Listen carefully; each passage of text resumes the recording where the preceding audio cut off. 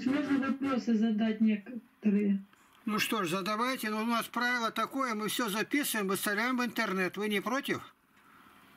Нет, не против, я знаю. Хорошо, я слушаю. Я Говор- говорите. Э, Мы с сестрой Еленой Грабичук переписывались, и она мне посоветовала взять молчание на год и поклоны делать. Я сначала вроде как отказалась, там написала ей, что такие у меня состояния радостные было в душе, я припустилась накануне. Вот, и что и я писала там много разных впечатлений в э, группе, в чате. Она мне посоветовала взять такое правило. Я пока отказалась сначала, а теперь подумала и думаю, что, наверное, буду исполнять. Начала потихоньку исполнять. Можно так, да? А что означает ма- мало? Я тут, может, пропустил. Земные поклоны или что? Ну да. Ну, на них указано, когда... Вот три поклона – это всегда достойно, когда считается. Придите, поклонимся. Ну, раз поклонимся, мы и кланяемся. Да, я это все исполняю с вами на молитве. Просто она мне посоветовала отдельно, сильно много делайте поклонов, говорит. Ну, как уж возможность есть много. Много, да, делает. Так это очень знаете, пол- полезно. Но какая возможность есть? Какой... Бывает человек больной или что-то. Мы так не можем для всех одинаково говорить. Ну вот я решила с вами поговорить, задать вам вопрос, почему она мне так написала. А я ей сказала, сестра, может это вам полезно такое? А кто Ну, написал? она, может, обиделась, что Кто написал-то? Елена Гладыщук, Елена Гладыщук. Понял, понял. Ну, она, она говорит по делу. Сколько можете, но из себя... Я не, не знаю, какая ваша обстановка дома, какая возможность. Может быть, у вас операция была, нельзя делать. Так нельзя подходить. Надо с рассмотрением. Ну, я, бывает, возьмусь за сильно великий подвиг, а потом понести не могу. Поэтому я спрашиваю у вас совета, как быть?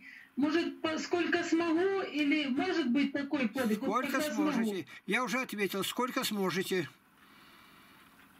Ты в, Благодарю, в радости поняла. благодари Бога, что Бог дал тебе память такую, и ты не забыла, пришла сюда.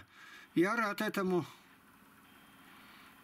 Еще такой вопрос, Игнатий Тихонович. Вот у нас там со священником в храме были такие всякие непонятки. В общем, дошло до того, что на клиросе, когда мы пели, происходили всякие такие ну, движения в храме. Я заметила, что это происходит, когда в нечистоте женщины служат. Матушка, там, дочь ее. Вот. И я говорю, поговорила с ней, говорю, матушка, ну это из-за того, что вот так и вот так вы служите. Она говорит, да нет, вот священники говорят, только иконами целовать, а так можно. Потом у нас дошло уже до того, что я ей правила зачитала на улице при батюшке. Вот, потому что и он просил прощения, вставал на колени, поклоны делал. И уже когда я его обличила на улице, правила зачитала, он на следующий день выгнал меня из клироса, не пустил меня больше петь. Они поют, меня не пускает, и дочь не пустил. И опять вот это вот творят. Да, они то дочь ставят на то место, и такое. Сын, теперь муж его обличил сына, что он волосы растит, а он теперь специально растет волосы, хвост такой отпустил. Ну такое творится, страшно. Но у меня вопрос, знаете, в чем? Дело в том, что я его обличала, и мы с ним как ссорились, я отперла ноги уже раза два. И опять вот это вот перед праздником сходила в храме, поклонилась и попросила в них прощения, ну, для примирения. Не знаю, какая сила меня подняла из дому.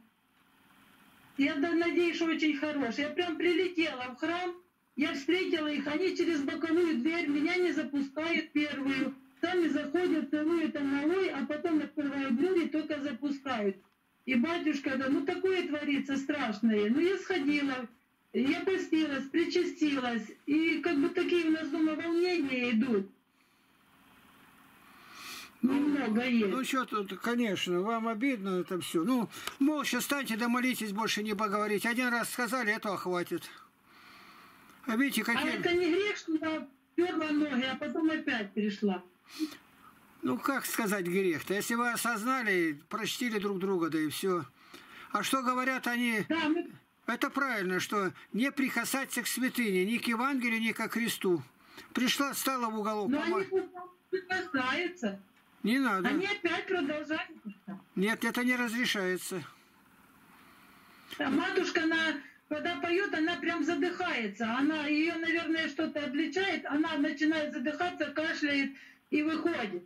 Вот это уже несколько раз такое было. Да не глядите на это. Что там было? Вы больше глядите на себя. Скажи, мне Бог открыл, я благодарю Бога. Больше не касайтесь их. Этого для вас достаточно. Такие переживания, а вы молча молитесь и радуйтесь. Благодарящий Бога написано за все. Простирайте руки свои. Вот так.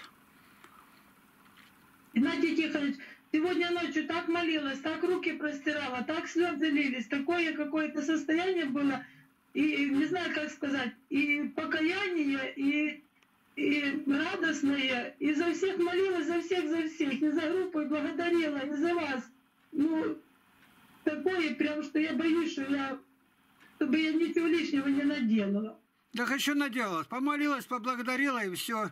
Я вот говорю, вы ночью-то выходите хоть немножко, или там, где живешь на каком этаже-то, под звездным небом, помолись. Соединись с Авраамом. Благодаря Бога за все. И славослов его. Не, не глядите, кто что сказал. Это, понимаете, это награда ваша. Если вас несправедливо гонят. Об этом мы считаем Евангелие от Матфея, 5 глава, 10-12 стихи. Радуйтесь и веселитесь. Это нам не оскорбление, это в радость.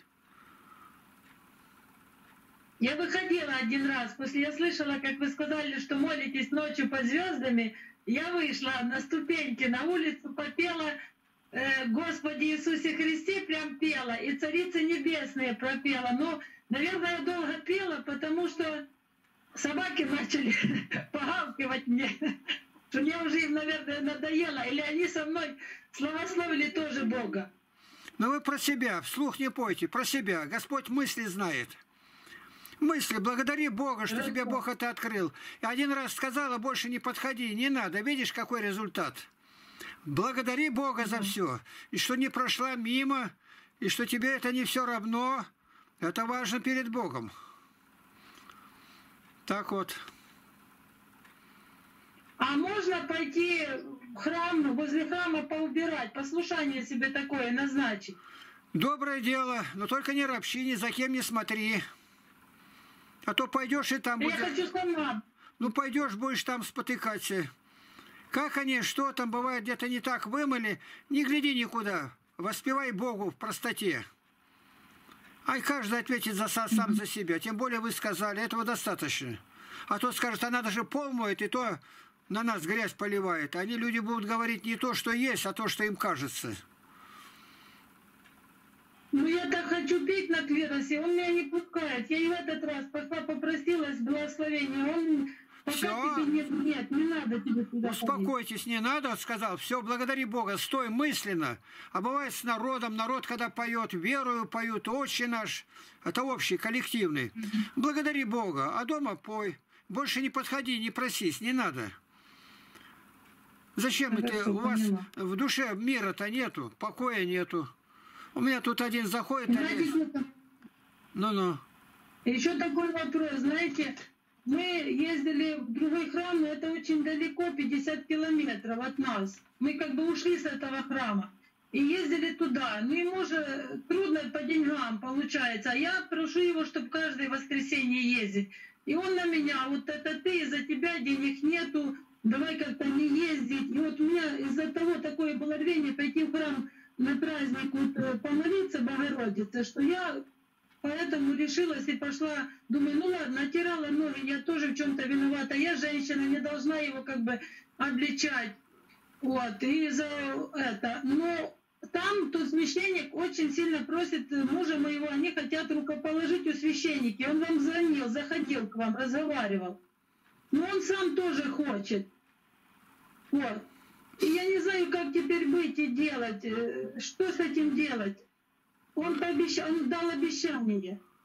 Ну, тут трудно без него разговаривать. В его присутствии можно было бы говорить, а так я не буду. Я не знаю. Поняла. Его нету здесь. И благословляй. Написано, благословляйте и врагов ваших.